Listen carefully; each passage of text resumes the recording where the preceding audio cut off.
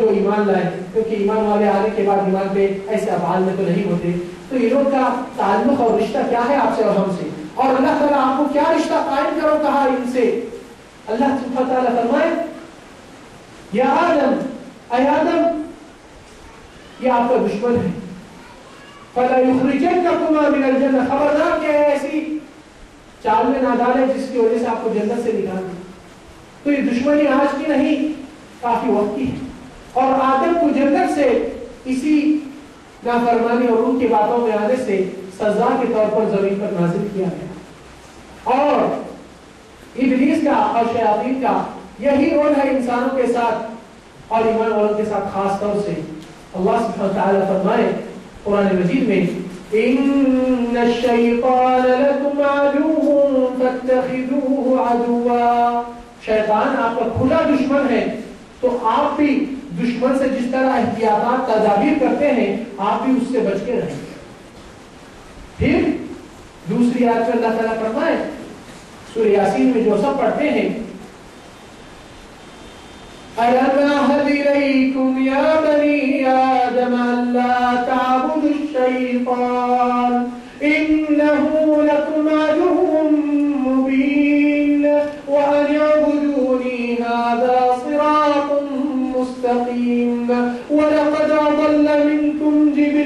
كثيرا فلم تكونوا تعقلون. أي عدوك يا أولاد کیا میں نے آپ لوگ سے عہد و پیمان نہیں لیا کہ تم لوگ شیطان کی عبادت میں نہیں چلا جائے اور کیونکہ وہ آپ کا کھلا دشمن ہے وہ علی اور عبادت خالص میرے لیے قائم کیجئے یعنی يعني اللہ کی طرف. حالا صراط مستقیم یہی ہے صراط مستقیم جس کو آپ نماز میں اللہ سے مانگتے رہتے ہیں دیر صراط مستقیم یعنی اللہ کی عبادت کرنا اور اللہ کے سوا غیر معبودات کو ترک کرنا، یہی صراط مستقیم کا معنی ہے۔ وَلَقَدْ أَضَلَّ مِنْكُمْ جِبِلًا كَثِيرًا۔ آپ سے پہلے کتنے امتوں کو بہکایا اور گمراہ کیا کیا آپ لوگ کو عقل مندی نہیں ہے ان کے حالات کو دیکھ کر عبرت حاصل کر نتیجہ کیا ہوگا؟ جہنم۔ اور وہ چاہتا ہے یہ کہ انسان سے جتنا بھی معاملہ ہونے کا ہے، نافرمانی کا اللہ کے ساتھ اتنا ہی اس کو قبول۔ ہے اب آئیے دیکھیں گے کہ ابلیس کچھ عزائم اور اپنے ارادے منصوبوں کو پہلے سے اعلان کر چکا ہے۔ اور وہ منصوبوں کے سامنے بھی اپنی کچھ امور کو بھی اس طرح بیان کر چکا ہے کہ میری طاقت کہاں تک ہے اور مجھ میں کتنا دم ہے۔ اور لوگ جو زیادہ تصور شیطان کا لے کر بیٹھے ہیں کہ شیطان کو حد سے زیادہ رنگ اپنے دماغوں میں لے کر دے دیے۔ اور وہ غلط تصور کو دور کرنا ضروری ہے، کیونکہ پیدا کرنے والا انسان اور جنات اور شیاطین کو اللہ ہے اور اللہ جو حقائق بتاتا ہے وہی چیز حقیقی معتبر ہو سکتی تو اللہ سبحانہ و تعالی قرآن مجید میں فرمائے قال فاخرج منها فإنك رجيم وإن عليك لعنتي إلى يوم الدين۔ تجھ پر اللہ تعالیٰ فرماتے ہیں کہ تو یہاں سے نکل جا، تو کھلا دشمن ہے اور تجھ پر لعنت ہے قیامت۔ تو وہ کہا، کیا مانگا؟ ابلیس اللہ سے ایک ہی درخواست کیا قال رب فانظرنی الى یوم یبعثون اے اللہ، تو مجھے مہلت دے دے قیامت کے دن تک۔ کیا کرنا چاہ رہا ہے؟ دیکھیے پہلے اس کو مدت بنا اور دیکھیے، ابلیس ابلیس ہوتے ہوئے اللہ سے درخواست اور دعا مانگا تو اللہ سے ہی مانگا، کسی اور سے نہیں مانگا۔ نہ کسی کا واسطہ، نہ کسی کا وسیلہ آیا یہاں۔ تو اللہ تعالیٰ فرمائے قال فإنك من المنظرين تجھ کو مہلت دی گئی اگر ابلیس کی درخواست قبول ہو سکتی ہے، تو آپ کے اور ہمارے دعائوں میں کیا خلل ہے کہ ان کا واسطہ، ان کا وسیلہ؟ کیا ہم اتنے گئے گزرے کہ ابلیس سے نیچے ہو گئے؟ اللہ سبحانہ وتعالی ہم سے حکم مانگا، وقال ربكم ادعوني استجب لكم آپ کے پروردگار رب نے فرمایا کہ مجھ سے ڈائریکٹ براس مانگو، میں تمہاری دعائیں قبول کرتا ہوں۔ آپ اتنی بڑی نماز پڑھتے ہیں، نماز کے بعد کسی کا وسیلہ نہیں لگا۔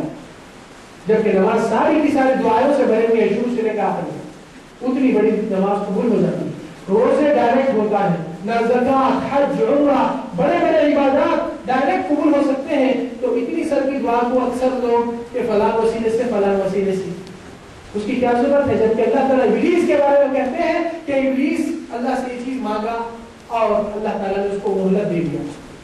اب اللہ کی بات تو حق ہے، تو ابلیس جانتا ہے کہ اللہ تعالیٰ واضح خلاف نہیں۔ تو اللہ تعالیٰ سے جب یہ اس کو مہلت مل چکی ہے، اپنے عزائم اور منصوبے نکالا ہے۔ قال فبعزتك لأغوينهم أجمعين دیکھیے عزت اللہ تعالیٰ کی ایک بہت بڑی صفت ہے۔ عزیز اللہ تعالیٰ کے اسماء الحسنہ میں سے ہے۔ ابلیس کہہ رہا ہے، اللہ تیری عزت کی قسم، اللہ کی صفات کی قسم کھاتا ہے۔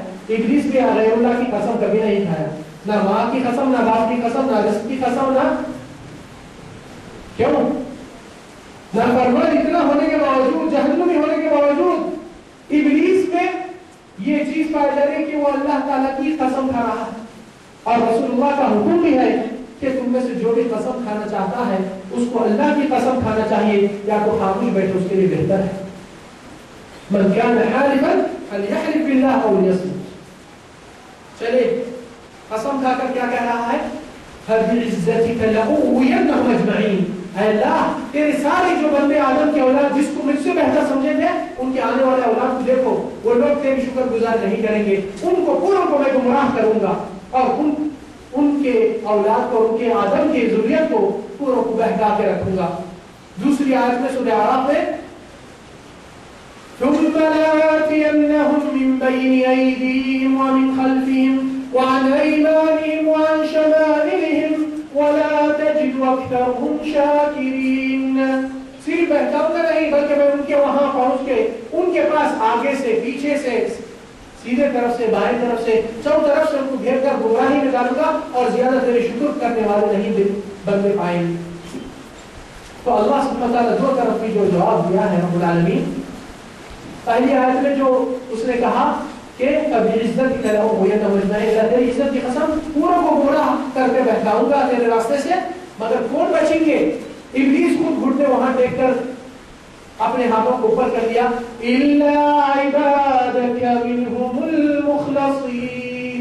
مگر تیرے وہ بندے جو خالص تیری عبادت کرتے، تجھ کو ہی مددگار مانتے، تجھ کو ہی پالنہار مانتے، تجھ کو ہی حاجت روا مانتے، اور تیری سے ہی سارے عبادات کو جڑا کر تیرے سے ہی پیش کرتے ہیں جو تیری عبادت میں کسی کو بھی ملاوٹ اور شریک نہیں بناتے ہیں، ان لوگ مجھ سے محفوظ نہیں، ان کے اوپر میری سکت نہیں کر سکتے۔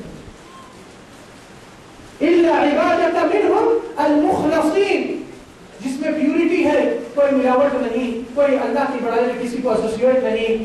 کیونکہ عبادت کے تین قسم ہے بھائیو بہنوں. ایک عبادت انسان اپنے جسم سے، بدن سے ادا کرتا ہے. نماز، روزہ، قربانی، حج، عمرہ.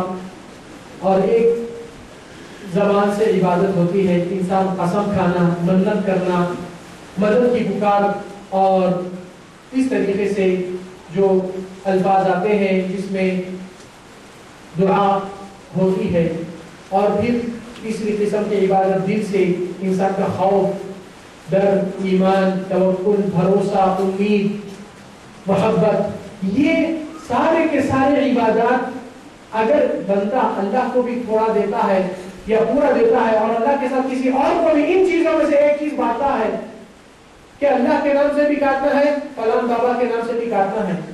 تو پھر اللہ کے ساتھ ملاوٹ ہو گئی۔ ایسا کے اوپر شیطان بہت زور دیتا ہے۔ کیوں؟ کیونکہ یہ بندہ اللہ کی بڑائی کو ختم کر دیا اور اپنے عبادت میں اخلاص قائم نہیں۔ تو شیطان نے، ابلیس نے شروع میں جو وعدہ کیا اور کہا کہ پوروں کو گمراہ کروں گا، مگر الا عبادك منهم المخلصين۔ مگر جو مخلص بندے ہیں ان کے اوپر میری نہیں چل سکتی تو اللہ تعالیٰ کیا جواب دیتے ہیں؟ ان عبادی لیس لك علیہم سلطان۔ میرے یہ بندوں کے اوپر تیری کوئی زور طاقت نہیں چل سکتی، کیونکہ یہ میرے بندے ہیں، کسی اور کے نہیں۔ اور وہ بندگی میرے سامنے پیش کرتے ہیں، کسی اور کے لیے نہیں۔ کیوں؟ انسان کی زندگی میں آپ تعجب کریں گے کہ انسان اگر اپنے زوجہ شریک حیات ہے، اس زوجہ نے اپنے گھر کی ضرورات آپ کو چھوڑ کر، شوہر کو چھوڑ کر پڑوس والے آدمی سے مانگتی ہے یا غیروں سے طلب کرتی ہے، تو شوہر ایک تنبیہ کر دیتا ہے کہ آپ کو جو بھی ہونا ہے، میں زندہ ہوں، میں آپ کا شوہر ہوں۔ ان سے بات کرنے کی